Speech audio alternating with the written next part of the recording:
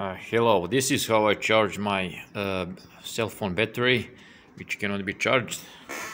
Just plug it in the USB and with this alligator clip, and that's it. And I think it's charged up just enough. Let's disassemble this setup. This is the cable. As you can see, USB alligator clips, one rectifier diode